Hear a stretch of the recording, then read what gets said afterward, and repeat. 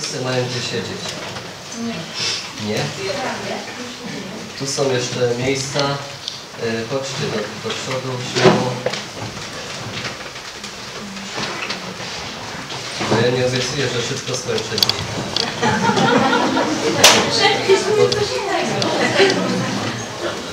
E, Dajmy się poprowadzić tego, który nas tutaj prowadzi. Słuchajcie, na początek. E, Małe, małe przypomnienie, już o tym słyszeliśmy na samym początku dzisiejszego sp- spotkania. E, Ksiądz Artur przed tygodniem mówił do nas pięknie o Bożej miłości i to jest rzeczywiście ta największa prawda o Panu Bogu. O tym, że Bóg jest miłością i o tym nam przypomina nieustannie Kościół za świętym Janem, który w pierwszym liście właśnie pisze, że Bóg jest miłością, kto trwa w miłości, trwa w Bogu, a Bóg trwa w nim. I my od tego, co jest podstawowe, dzisiaj wychodzimy do czegoś, co jest konsekwencją pewnego zachowania ludzi, a więc powiemy sobie o tym, co nas od tej miłości od Boga oddziela. Yy, Na początek, o jest. Bóg stworzył mnie z miłości, małe powtórzenie.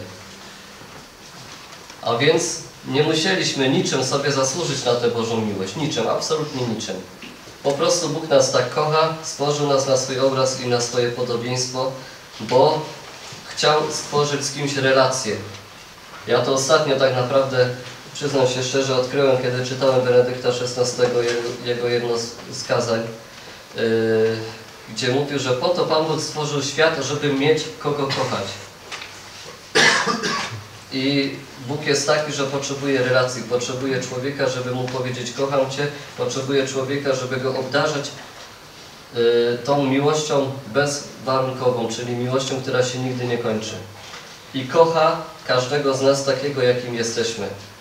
Oczywiście wszyscy mamy, powinniśmy się starać być jak najlepszymi ludźmi, jak najwięcej tej miłości w swoim życiu odkrywać, o tę miłość za- zabiegać, o tę miłość y, się starać, y, żeby ona była jeszcze silniejsza, jeszcze, jeszcze mocniejsza, ale pamiętajmy, że ona jest całkowicie za darmo, tak?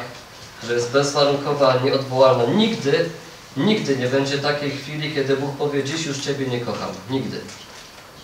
To my możemy Panu Bogu powiedzieć, że już sorry, ale dziś to przegiąłeś i mam już, chcę robić coś po swojemu.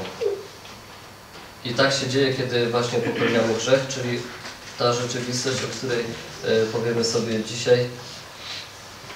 To jest rzeczywistość, która jest z jednej strony bardzo smutna i przykra, ale myślę, że jak święty Paweł też powie w Nowym Testamencie, gdzie rozlał się grzech, tam jeszcze obficiej rozlała się łaska. Dlaczego to do tego myślę dojdziemy za chwilę. Chciałbym rozpocząć y, te kilka słów tak naprawdę refleksji, też bardziej podzielenia się tym, czym dla mnie jest rzeczywistość grzechu i też ciągle y, odniesiemy się do Bożej miłości, czym jest ta miłość Boga, z mojego krótkiego doświadczenia życia. Ja mam dopiero 30 lat i to jest połowa osób starszych ode mnie i dużo więcej myślę, moglibyście coś powiedzieć na ten temat. I to, że jestem w sutannie i że skończyłem seminarium wcale nie znaczy, że to jest dla mnie takie proste i oczywiste. I chciałbym poprosić teraz o następny slajd, który, y, który jest po prostu zdaniem z Księgi Izajasza, z Księgi proroka Izajasza z 54 rozdziału, 10, 10 werset. I on brzmi tak, bo góry mogą ustąpić i pagórki się zachwiać, ale miłość moja nie odstąpi od Ciebie. Tam dalej jeszcze usłyszelibyśmy, bo to jest fragment, yy, mówi Pan, czyli Bóg mówi do nas. Słuchajcie, yy, ja miałem może dwa lata kapłaństwa, jakoś tak.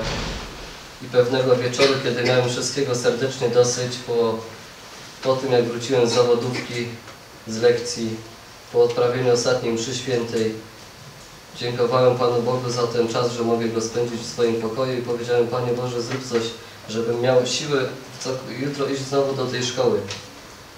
Bo mi się po prostu nie chce. I mówię ciągle o tej Bożej miłości, a oni sobie nic z tego nie robią. I otworzyłem Pismo Święte to moje, takie jedne z ulubionych, całe seminarium przetrwało, jest zmasakrowane. Ale lubię je bardzo. I właśnie te, te słowo jest Izajasza. I dzisiaj mi się to o tym przypomniało, kiedy, kiedy siedziałem u siebie tam w pokoju, w Bytomiu. I po prostu płakałem, bo, bo to słowo dotarło do mnie tak mocno, że, no, że poruszyło moje serce. I rzeczywiście to jest prawda, którą, o której wszyscy znamy. I w tym momencie ja tak naprawdę y, cieszyłem się, że byłem sam. Ale nie byłem sam, bo wszedł drugi wikary i widział mnie, jak siedzę i ryczę nad tym Pismem Świętym i mówi stary, pożycz mi kartki do drukarki, bo mi się skończyły. A co ty, a co ty w ogóle robisz? Co ty robisz? Co ty, co ty? Czemu płaczesz? Ja mówię, no bo czytam sobie Pismo Święte. A, Izajasz, Pan Bóg Cię kocha. A to co, Ty nie wiedziałeś tego? Z drzewa spadłeś. Serio, nie? I to są takie oczywiste rzeczy, tak jak Boża miłość, Boże przebaczenie, ale czasem potrzeba 28 lat, dwóch lat kapłaństwa, żeby to na nowo odkryć.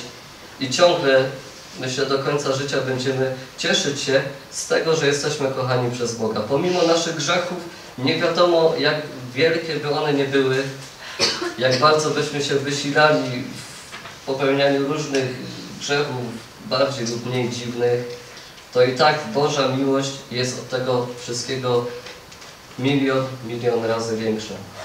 Bo takie jest Boże miłosierdzie i my do tego dojdziemy później. Ale nie będę już wyprzedzał, tylko pokazuję, jak Pan Bóg czasem y, potrzebuje czasu, żeby dotrzeć do człowieka, żeby pokazać tę prawdę o Jego miłości.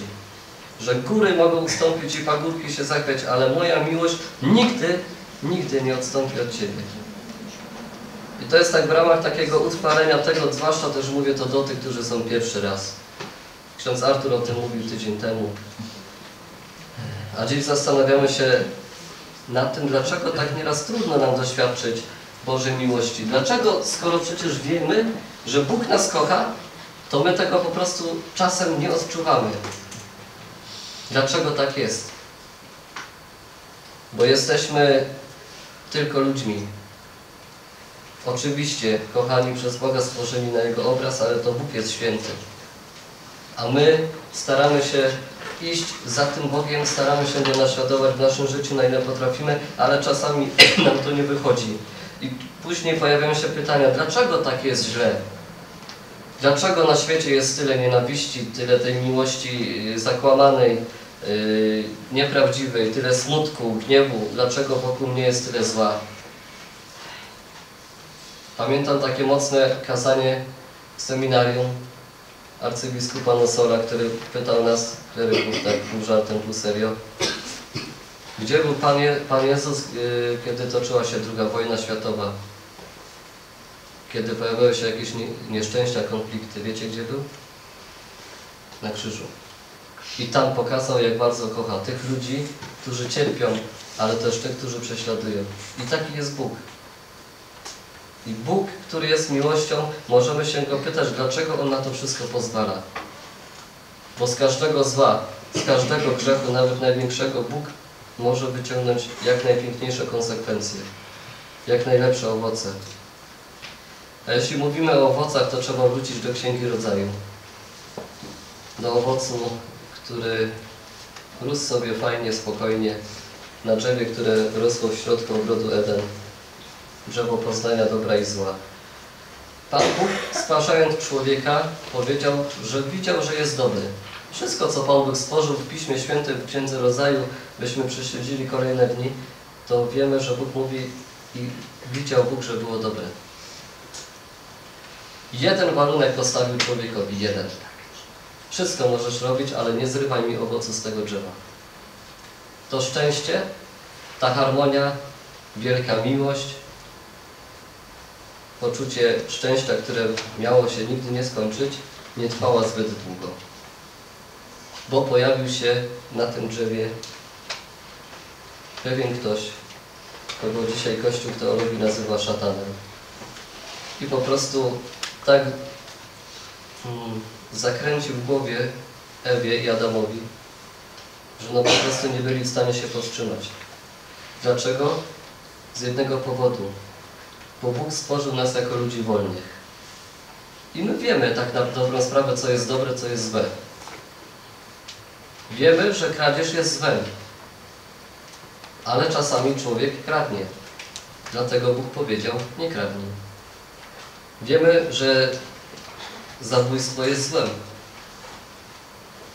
Gdyby wszyscy o tym wiedzieli i to przestrzegali, to więzienia byłyby puste. Człowiek chce doświadczyć Bożej miłości, ale to grzech go od niej oddala. I Bóg nieustannie wylewa na nas morze swej miłości, ale ona spływa po nas tak często, jak jakbyśmy stali pod, pod y, jakimś, nie wiem, przystankiem autobusowym i wokół nas pada deszcz. I my nie zwokniemy, bo chroni nas dach. Niewielki, ale możemy się gdzieś tam schronić. I wtedy jakby blokujemy ten dostęp łasce Pana Boga. A wróćmy na chwilę do Księgi Rodzaju. Yy, może ktoś chciałby przeczytać ten fragment. Jest ochotnik jakiś. Trzeci rozdział, wersety od pierwszego do szóstego.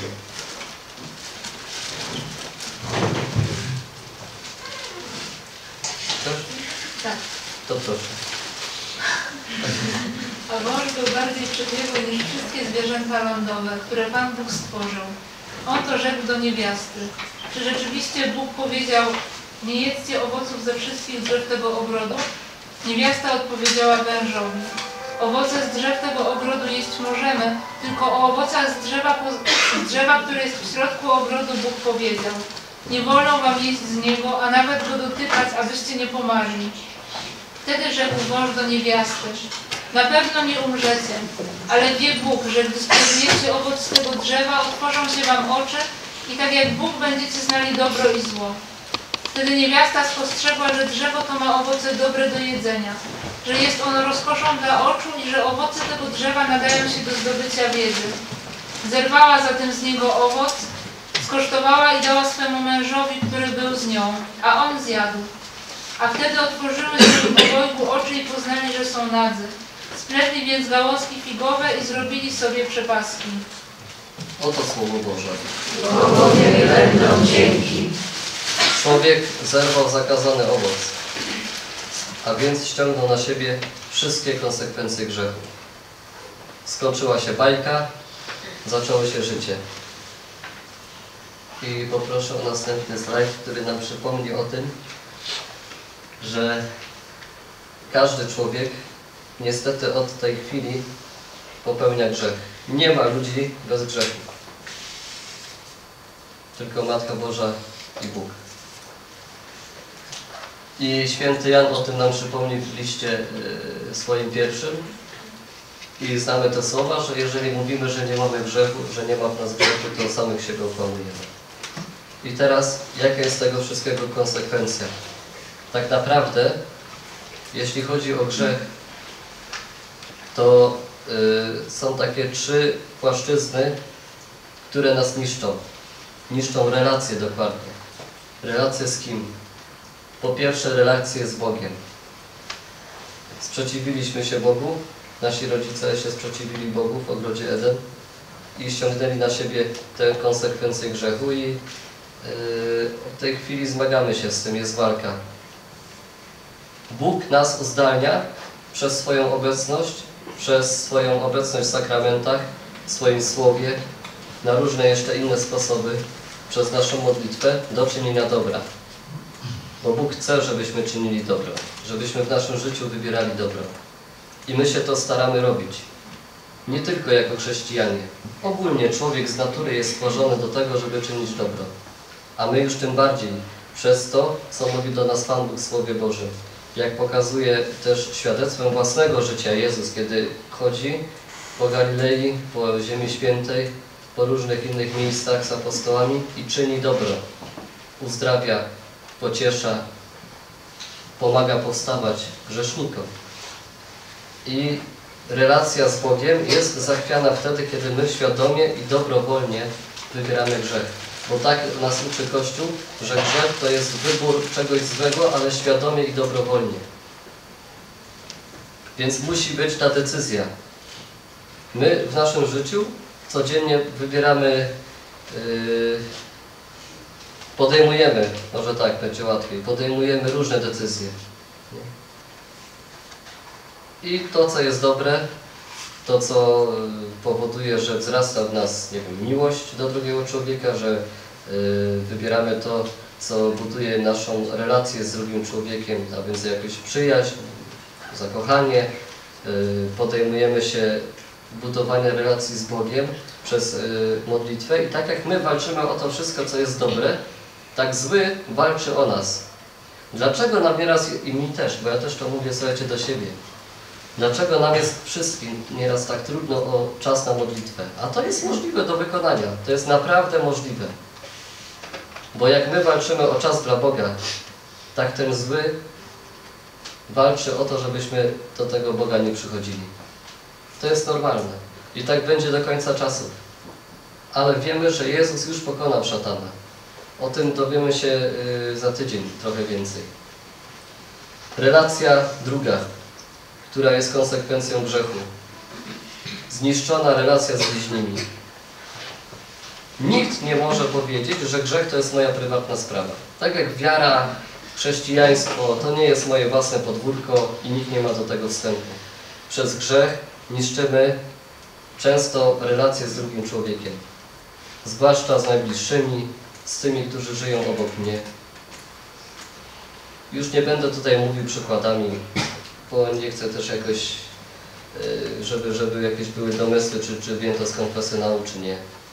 Ogólnie relacja z bliźnimi bardzo cierpi z tego powodu, jeśli wybieramy zło. I ostatnia, relacja z samym sobą. To ja przecież podejmuję decyzję. I ja jestem potem zły na siebie i się denerwuję, że znowu to samo, że znowu zawaliłem. Że przecież Pan Bóg dał mi tyle szans, tyle łask, tyle e, siły, tyle swojego błogosławieństwa. Przecież ja, odchodząc ostatnim razem z, e, z konfesjonału czy ze spowiedzi, postanowiłem poprawę, żałowałem za grzechy. A ciągle jest źle. Teraz to jest ta prawda o nas wszystkich, że wszyscy, tak jak pisze święty Jan, jesteśmy grzeszni. I mój grzech chodzi za mną. Cienia też się nie, nie możemy pozbyć. Raz go bardziej widzimy, raz mniej. Jest, yy, grzech działa w taki sposób, że ciągle chce nas od Boga oddalić. I to jest yy, tak naprawdę gorsza wiadomość, że, że ani ja, ani Ty nie jestem w stanie sam sobie z tym wszystkim poradzić. Wiecie, mnie się zawsze podoba pytanie dzieci w szkole, a to ksiądz też chodzi do spowiedzi? Tak. Też chodzę do spowiedzi. Nie stanę przed lustrem rano i mówię, odpuszczam Ci grzechy. To by było zbyt piękne. Zbyt piękne. Ksiądz też potrzebuje spowiednika. Potrzebuje drugiego człowieka. Oczywiście tam siedzi Chrystus, a ksiądz jest tylko narzędziem. My to wszyscy znamy, a czasami też się siłujemy.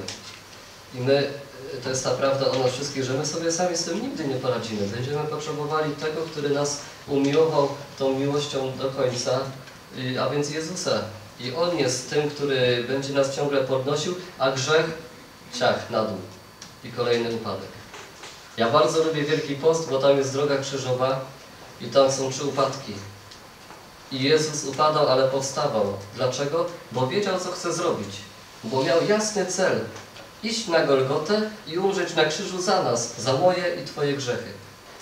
I on już nie miał siły, dlatego potrzebował Szymona, potrzebował Weroniki, potrzebował słów matki, która go spotkała na drodze.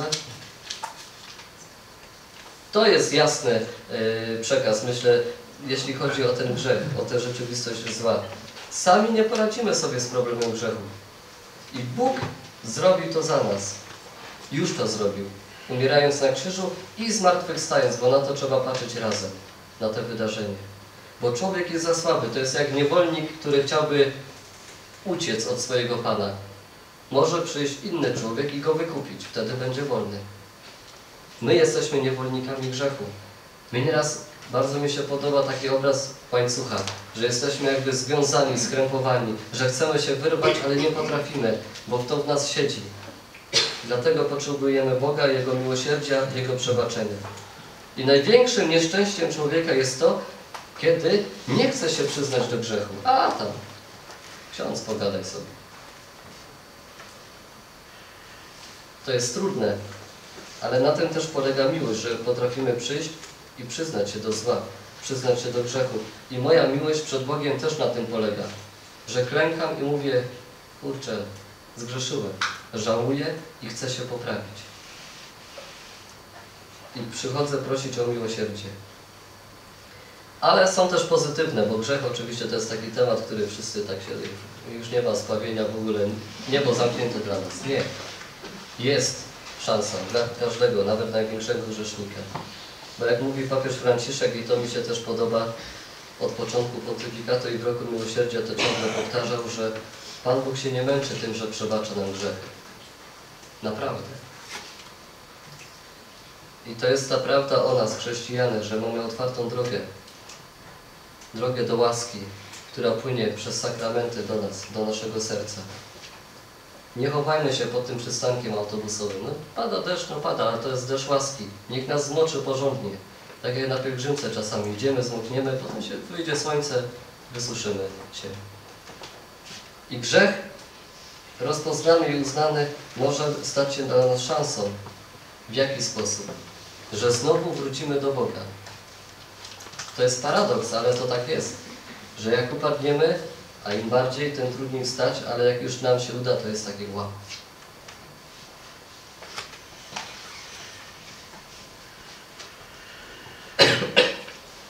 Zapytałem kiedyś jednego człowieka małego. Yy, przyszedłem, choć szedłem do kościoła na mszę. Nie miałem spowiadać wtedy i spotkało mnie dziecko i mówi, a idzie ksiądz spowiadać? Mówię, no nie, ale jak chcesz, to mogę, możemy się wyspowiadać Ciebie, nie ma problemu. Nie pójdziemy do konfesjonału, bo jak siądę, to mi się ludzie zlecą i nie zdążę odprawić. I mówię, a słuchaj, fajnie, no i po tej spowiedzi się go tutaj, co, jak się teraz czujesz? A tak mi lekko. I to jest ta prawda, że my przychodzimy do źródła miłosierdzia, które sprawia, że yy, Pan Bóg zabiera to wszystko, co jest tym największym sypem w naszym życiu. Tymi największymi zmartwieniami, tym wszystkim, co jest trudne. Bo oczywiście my jako ludzie yy, no ciągle się zmagamy z tą naszą słabością, z naszymi niewiernościami. I też powiedzmy to sobie szczerze, że nikt nie ma takich ludzi, nawet wielcy święci przecież jak przeżywali yy, sakrament pokuty, to mówili, no, że znowu czują tę łaskę Boga, ale znowu, znowu trzeba uważać, nie? Żeby, żeby nie upaść. Bóg, pisze święty Jan. E, tak. Jeżeli wyznajemy nasze grzechy, Bóg jako wierny i sprawiedliwy odpuści je nam i oczyści z wszelkiej nieprawości. Święty Jan to był jedyny apostoł, który był pod krzyżem. I on widział, jak Jezus umiera za nasze grzechy. Dlatego w Wielki Piątek czytamy mękę według świętego Jana Ewangelii, bo on był świadkiem tego. I dlatego Kościół tak mówi w tradycji, tak nawiasem mówiąc, że Jan nie umarł jako męczennik, jako jeden z apostołów, w nagrodę, że był do końca przy Panu Jezusie. Umarł mając ponad 100 lat na wyspie, gdzie głosił Słowo Boże. E, I to jest też piękne, tak jak Jezus pochyla się nad grzesznikami w Ewangelii. Mamy mnóstwo takich scen. I dużo by szło tutaj o tym mówić, ale jest jeszcze kilka innych rzeczy ważnych. Ale Jezus podaje zawsze rękę. Jezus nigdy nie potępia. I to jest piękne w naszym chrześcijaństwie, że mamy Boga, który z nas się nie śmieje, a znowu upadłeś, znowu ci się nie udało i teraz ci dowalę taką pokutę, że łach, pożałujesz. Nie. Pan Bóg czeka na nas i chce naszego szczęścia, człowiek szczęśliwy jest wtedy, kiedy żyje blisko Zbawiciela. I kończąc, zanim oddam głos Ani, która się podzieli świadectwem, to yy, ja bym chciał tutaj przytoczyć taki fragment świętej siostry Faustyny. Ona jest tą, która szczególnie doświadczyła w swoim życiu tajemnicy i cierpienia, i niesprawiedliwości, ale zrozumiała, jak wielkie jest Boże miłosierdzie, dlatego jest apostołką miłosierdzia. I powiedziała kiedyś Faustyna tak, że gdyby miała na sumieniu wszystkie, największe nawet zbrodnie świata i tak bez wahania rzuciłaby się w ramiona Jezusa, to On by ją przyjął. On by jej przebaczył, bo to tak naprawdę by była tylko kropelka oceanu Jego miłości, Jego miłosierdzia. Proszę teraz Anię, y, żeby podzieliła się